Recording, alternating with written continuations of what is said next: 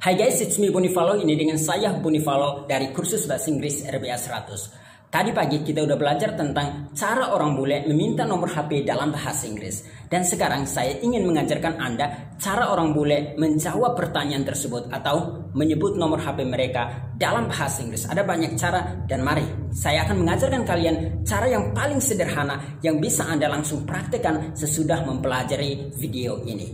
Alright, ayo kita mulai. Okay, Sarah, Yeah. and your number is Uh, 480. 480. Well, okay, well, I'm going this way, and you're going that way, right? So I'll just grab your number real quick. Kenzie? Yeah. All right. 480. All right, 480. Okay, what is it? 781. 781. What's your number? 760. 998. 630. Hai guys, welcome dan langsung saja mari kita bahas tentang cara menjawab pertanyaan yang ada di depan Anda ini yaitu what's your phone number dan juga pertanyaan-pertanyaan lain yang meminta nomor HP Anda dalam bahasa Inggris. Alright. Dan langsung saja tetapi sebelum itu mari kita pelajari cara menyebutkan angka-angka di depan Anda ini. Alasannya adalah bahwa kalau Anda menyebut uh, nomor HP Anda dalam bahasa Inggris biasanya kita sebutkan secara individual. Dalam arti bahwa kita sebutkan satu uh, angka demi angka. Kita nggak bisa sebutkan kayak 50 atau 500, 1000 nggak bisa kayak gitu.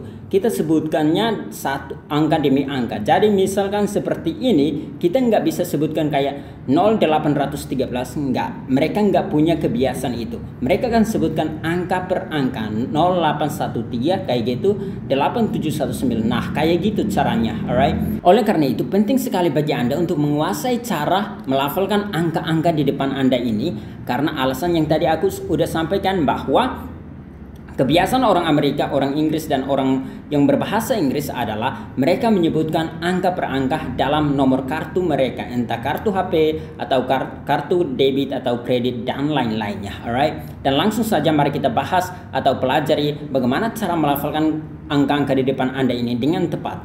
Pertama, angka yang ini ada dua cara Anda melafalkannya, terutama dalam penyebutan angka yang ada di dalam kartu. Kalau di luar dari situ tidak berlaku, alright. Nah, khusus un- untuk kartu pertama, angka 0 itu disebutkan dengan zero, alright. Jadi seolah-olah Anda baca ini ya. Zero, alright. Zero. Jadi kayak gitu, ini pakai bunyi Z ya. Jadi zero. Tetapi ada hal lain juga cara melafalkan 0 dalam bahasa Inggris, terutama dalam penyebutan kartu itu adalah O, alright. Jadi seolah-olah Anda baca ini O, O. Cara pelafalannya sama dengan uh, kata apa ya? Kayak huruf O dalam bahasa Inggris. Misalkan huruf O dalam boni. O. Sama sekali sama persis alright? Jadi sama persis. Sekali lagi jadi ada dua yaitu zero bisa juga O. Sekali lagi zero and O. Sedangkan yang ini tentunya one. Jadi cara melafalkannya itu kayak gini. One ini adalah two jadi cara lafalkannya pakai u yang panjang two ini adalah three alright? Cara lafalkannya ada bunyi th jadi three alright? Jadi kayak gitu. Sebentar aku tuliskan supaya teman-teman hebat dalam melafalkannya. Three three. Ini adalah four pakai o yang panjang.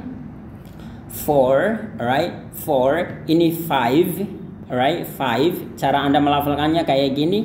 Five ini six six kayak gini atau pakai ks juga nggak menjadi masalah karena uh, pelafalannya sama six ini adalah seven seven kayak gini ya ini sebenarnya adalah bunyi e seven ini adalah eight dan ini adalah hal yang paling sering salah dilafalkannya.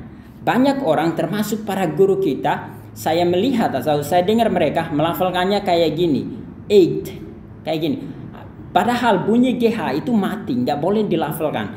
Eight. Dia hanya kayak gini ya. Ada yang lafalkannya kayak gini, eight. Padahal ini tidak tepat, alright? Jadi eight.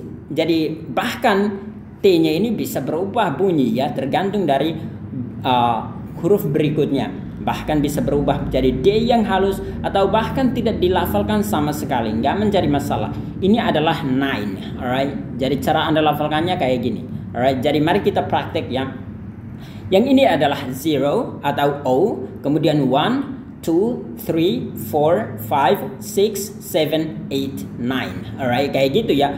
Dan itu cara Anda melafalkan kira-kira 10 angka di depan Anda. 0 atau O, 1, 2, 3, 4, 5, 6, 7, 8, 9. Alright, kayak gitu. Dan langsung saja mari kita praktekkan dalam penyebutan uh, nomor HP yang ada di depan Anda ini. Alright. Nah, kalau nol di mana saja Anda bisa lafalkan dengan zero atau bisa lafalkan dengan O. Jadi misalkan mau banyak kayak gini juga Anda mau pakai O aja nggak menjadi masalah atau Anda mau pakai zero aja nggak menjadi masalah. Kalau memang Anda bingung dengan kata O, silahkan pakai zero, alright? Jadi nggak menjadi masalah kalau Anda pakai salah satunya.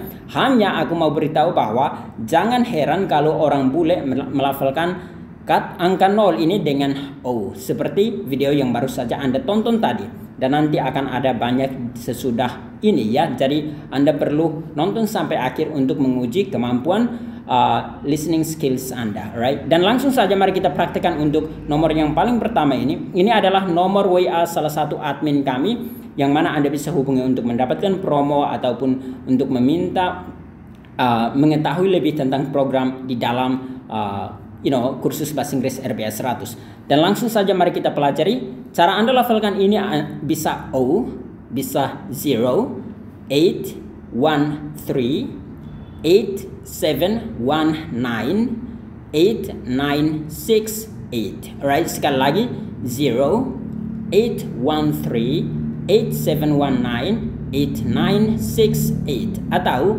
O, 8, 1, 3, 87198968. Jadi kita ngomong kalau di Amerika dan juga kayak kita di Indonesia juga sama, kita harus bagi per empat angka kayak gini atau per dua angka atau per tiga angka supaya tidak uh, apa ya tidak membuat kita bingung. Jangan sampai orang yang dengar Anda itu kayak bingung sekali karena Anda ngomongnya itu tidak pakai uh, apa ya jeda. Anda ngomongnya dari awal sampai akhir cepat sekali sampai orang bingung. Apalagi tidak semua orang suka matematika suka angka-angka kayak gini ya kan jadi kita harus mengerti hal itu bahwa tidak semua orang bisa merekam angka dengan cepat. Oleh karena itu, teman-teman harus saat menyebutkan nomor Anda, Anda sebutkan dengan pelan-pelan. Alright, jangan uh, semacam sok-sokan supaya cepat-cepat, supaya dianggap lancar, padahal itu akan membingungkan orang yang mendengar. Alright, jadi itu penting. Nah berikut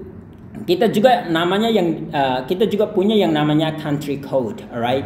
Artinya kode uh, negara, alright. Dan kode negara kita adalah 62. Jadi kalau misalkan Anda ngomong dengan orang bule dan Anda mau kasih nomor HP Anda ke orang bule, Anda harus sebutkan juga country code kita baru nomor HP Anda, alright? Jadi itu penting untuk Anda tahu. Kalau tidak, misalkan kalau Anda kasih ini aja, saya yakin mereka akan susah untuk menghubungi Anda karena mereka butuh yang namanya country code karena mereka juga punya nomor nomor HP yang memiliki country code tersendiri. Jadi an, mereka tidak bisa menghubungi Anda atau Anda pun tidak bisa menghubungi mereka kalau Anda tidak kasih yang namanya country code. Dan langsung saja mari kita praktekkan cara sebutkan angka atau uh, nomor HP yang dibawanya ya, yang ini ini.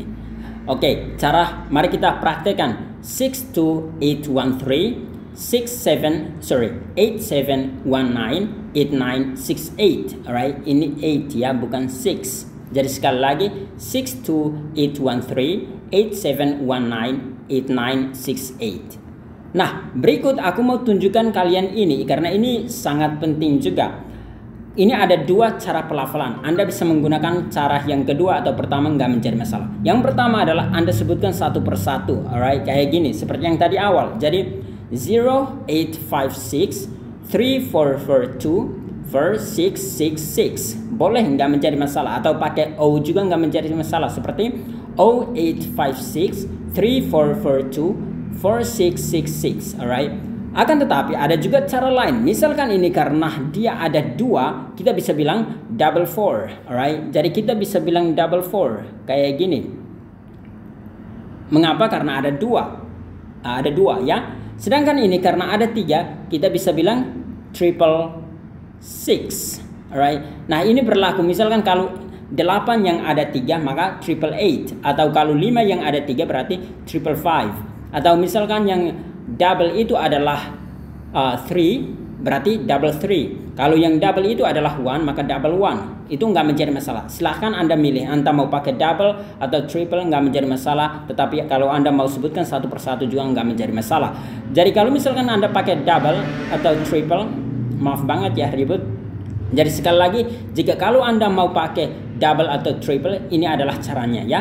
Jadi cara Anda lafalkannya adalah 0856 344. Jadi tepat pada mau sebutkan angka yang ini baru kita sebutkan double-nya ya.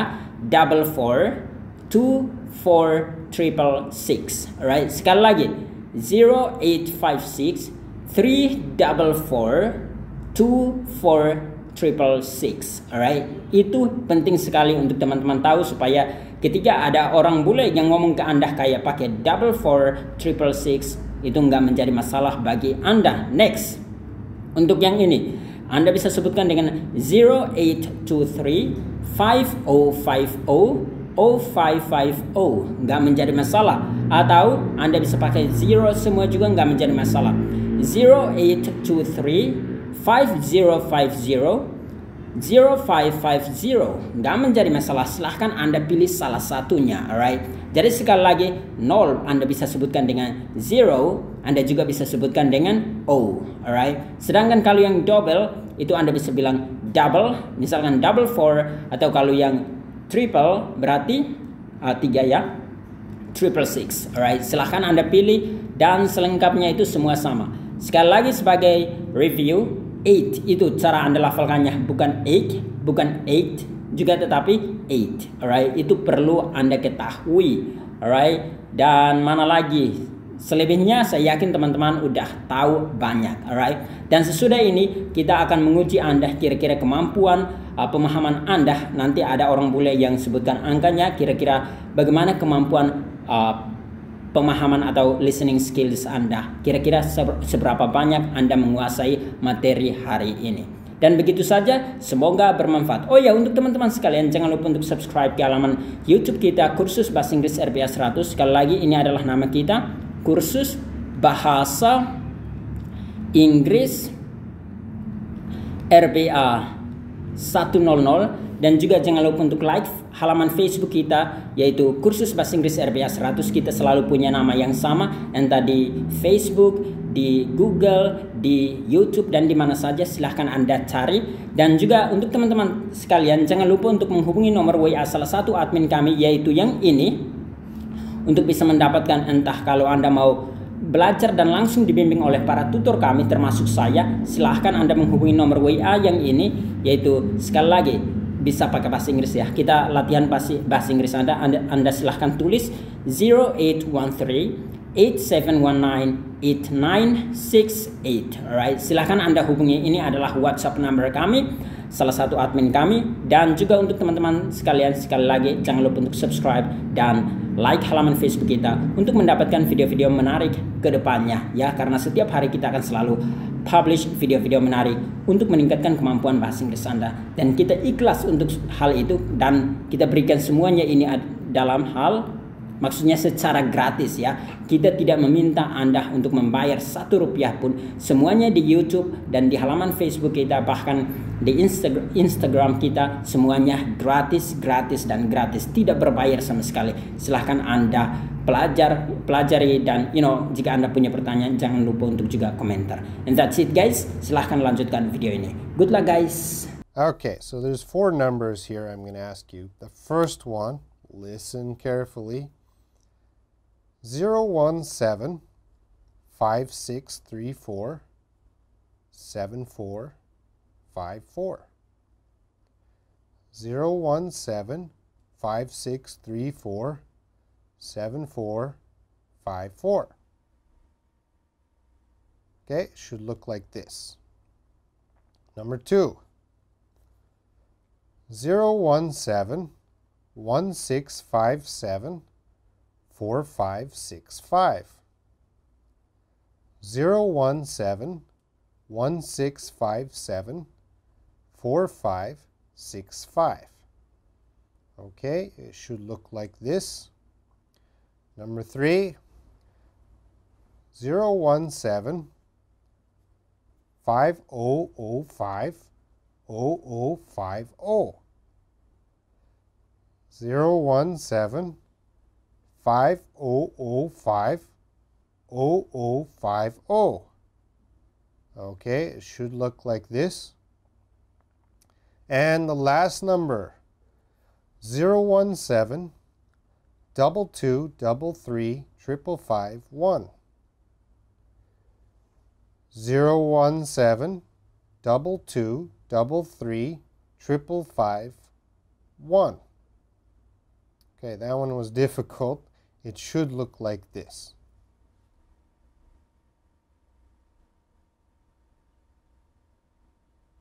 What's your number? 858. 858. What's your number? 360. 425. 562. Uh, 915.